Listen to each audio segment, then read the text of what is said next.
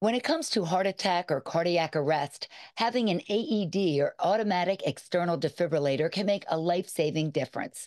This Thursday, February 8th, Atlanticare is hosting its Red Dress, Red Tie event at the Carriage House in Galloway.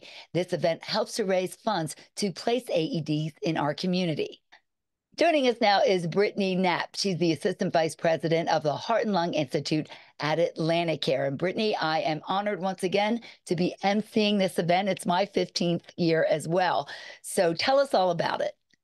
Well, thanks for having me today. So, sure. Atlanticare established our Heart Hero program back in 2002, and it was just a way to give back to the community and help provide life saving AEDs. So, we place these AEDs throughout our community, and uh, we raise half the funds. Atlanticare covers the rest of the costs, and the goal is really to prevent deaths by having these AEDs in public areas in the community anywhere possible. I know AEDs have already saved lives in our community.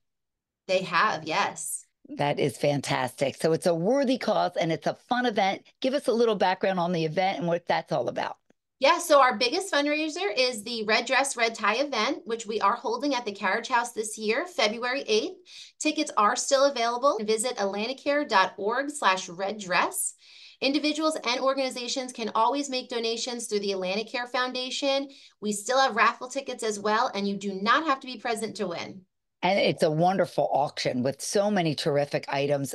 People are so gracious to donate to this great cause. Thank you so much, Brittany Knapp, Assistant Vice President of the Heart and Lung Institute at Atlanticare. And you are living well with Robin Stoloff.